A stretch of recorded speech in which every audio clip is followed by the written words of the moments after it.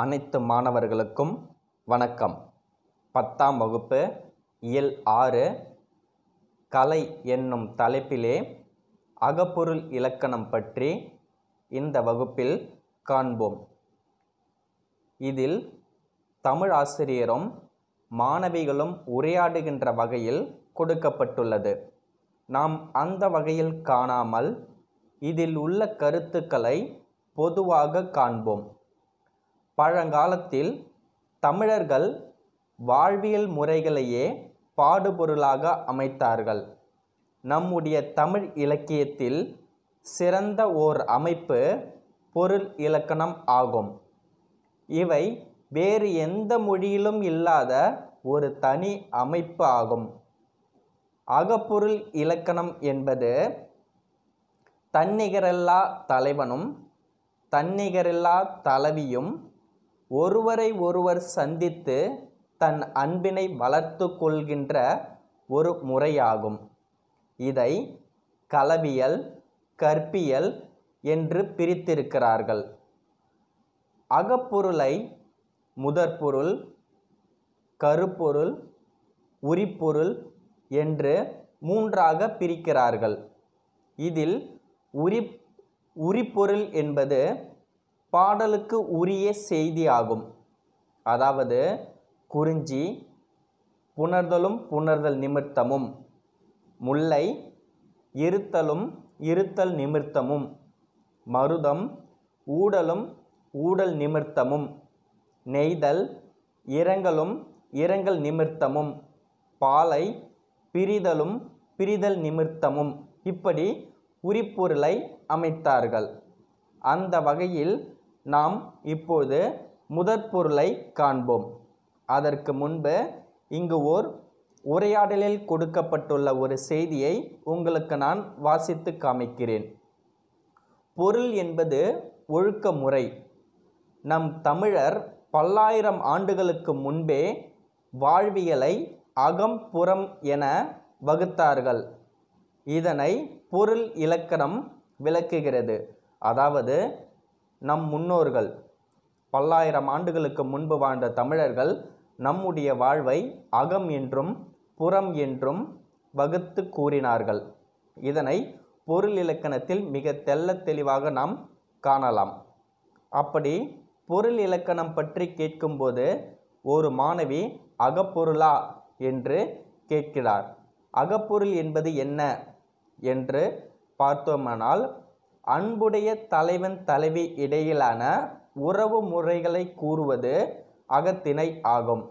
அதாவது இரண்டு தலைவனும் தலைவியும் அவருக்கு இடையே உள்ள உறவு நிலைகளை விளக்கி கூறுவதுதான் அகப்பொருள் என்பார்கள். ஆம் அந்த அகப்பொருளில் வகைகள் இருக்கின்றனவா என்றால் இருக்கின்றது. குறிஞ்சி முல்லை மருதம் நெய்தல் பாலை என்பன அன்பின் ஐந்திணைகள் ஆகும் என்று அதனுடைய வகைகளை மிக தெளிவாக தமிழாசிரியர் எடுத்து கூறுகிறார். அந்த வகையில் நாம் பார்க்கும்போது இப்பொழுது முதற்பொருளை பற்றி காண்போம். முதற்பொருள் முதற்பொருள் என்பது நிலமும் பொழுதும் ஆகும். நிலம். நிலம் என்பது குறிஞ்சி முல்லை மருதம் நெய்தல் பாலை ஐந்து வகை திணைக்குரிய நில வகையை குறிக்கும். அதாவது குறிஞ்சி மலையும் மலை சார்ந்த இடமும். முல்லை காடும் காடு சார்ந்த இடமும். மருதம் வயலும் வயல் சார்ந்த இடமும். நெய்தல் கடலும் கடல் சார்ந்த இடமும். பாலை சுரமும் சுரம் சார்ந்த இடமும். இவை ஐந்து வகை திணைக்குரிய ஐந்து வகை நிலங்களை கூறுவது முதற்பொருளில் வரும். அதேபோன்று பொழுது. பொழுது இரண்டு வகைப்படும். ஒன்று பெரும்பொழுது மற்றொன்று சிறுபொழுது. பெரும்பொழுது என்பது ஓர் ஆண்டினை ஆறு பிரிவுகளாக பிரித்து கூறுவது பெரும்பொழுது. சிறுபொழுது என்பது ஒரு நாளை ஆறு பிரிவுகளாக பிரித்து கூறுவது சிறுபொழுது ஆகும். அவற்றை பற்றி கீழே காண்போம். பெரும்பொழுது ஓர் ஆண்டின் ஆறு கூறுகள். பெரும்பொழுதை ஓர் ஆண்டில் உள்ள ஆறாக நாம் பிரிக்கலாம். ஒன்று கார்காலம் குளிர்காலம் முன்பனிக்காலம் பின்பனிக்காலம் இளவேனில் காலம் முதுவேனில் காலம் என்று ஆறு வகையாக ஓர் ஆண்டினை பிரித்து கூறுவது பெரும்பொழுது ஆகும். இதில் கார்காலம் என்பது ஆவணி புரட்டாசி மாதங்களை குறிக்கும். குளிர்காலம் என்பது ஐப்பசி முதல் கார்த்திகை மாதம் வரை உள்ள மாதங்களை குறிக்கும். முன்பனி காலம் என்பது மார்கழி மாதத்தையும் மார்கழி மாதம் முத முதல் தை மாதம் வரை உள்ள மாதங்களை குறிக்கும். பின்பனி என்பது மாசி பங்குனியை குறிக்கும். இளவேனில் காலம் என்பது சித்திரை வைகாசி ஆகியவற்றை குறிக்கும்.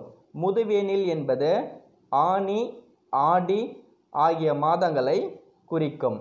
பொழுது என்பது இதனை ஆறு வகையாக பிரித்து நமக்கு கூறுகிறார்கள். அதேபோன்று சிறுபொழுது ஒரு நாளின் ஆறு கூறுகளை சிறுபொழுது என்று பிரித்துள்ளனர். அதாவது இருபத்தி நான்கு மணி நேரத்தை ஆறாக பிரித்து கூறுவது சிறுபொழுது ஆகும். சிறுபொழுது காலை நண்பகல் ஏற்பாடு மாலை யாமம் வைகரை. அதற்குரிய நேரம். காலை என்பது காலை ஆறு மணி முதல் இரவு பத்து மணி வரை. சாரி காலை ஆறு மணி முதல் பத்து மணி வரை. நண்பகல் என்பது காலை பத்து மணி முதல் இரண்டு மணி வரை. ஏற்பாடு. பிற்பகல் இரண்டு மணி முதல் ஆறு மணி வரை. இதில் ஏற்பாடு என்பது எல் கூட்டல் பாடு என பிரிப்பார்கள்.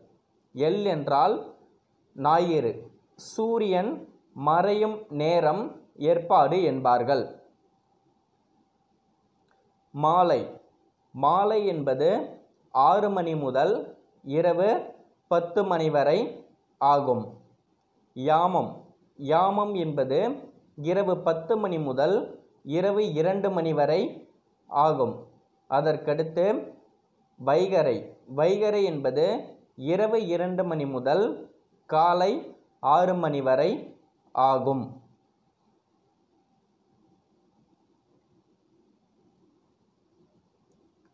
இப்பொழுது அதற்கடுத்து ஒவ்வொரு திணைக்குரிய பெரும்பொழுது என்ன?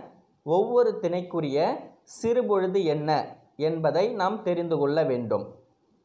பெரும்பொழுது சிறுபொழுது. ஒவ்வொரு திணையும் திணை குறிஞ்சி முல்லை மருதம் நெய்தல் பாலை. குறிஞ்சி நிலத்துடைய பெரும்பொழுது குளிர்காலம் முன்பனி காலம். அதோடைய சிறுபொழுது யாமம். முல்லை நிலத்திற்குரிய பெரும்பொழுது கார்காலம். முல்லை நிலத்திற்குரிய சிறுபொழுது மாலை. மருத நிலத்திற்குரிய பெரும்பொழுது ஆறு பெரும்பொழுதுகளும் வரும். மருத நிலத்திற்குரிய சிறுபொழுது வைகரை நெய்தல் நிலத்திற்குரிய பெரும்பொழுது ஆறு பெரும்பொழுதுகளும் வரும். நெய்தல் நிலத்திற்குரிய சிறுபொழுது ஏற்பாடு. பாலை நிலத்திற்குரிய பெரும்பொழுது இளவேனில் முதுவேனில் பின்பனி. பாலை நிலத்திற்குரிய சிறுபொழுது நண்பகல். இவை அனைத்துமே ஒவ்வொரு திணைக்குரிய பெரும்பொழுதும் சிறுபொழுதும் ஆகும். ஆறு பெரும்பொழுதுகளும் என்பது ஓர் ஆண்டினை ஆறாக இருப்பதை பிரித்து கூறுவதாகும். அதாவது கார்காலம் குளிர்காலம் முன்பனி காலம் காலம் இளவேனில் காலம் முதுவேனில் காலம். இந்த ஆறு பெரும்பொழுதுகளும் மருத திணைக்கும் நெய்தல் திணைக்கும் வரும் என்பதை நீங்கள் புரிந்து கொள்ள வேண்டும்.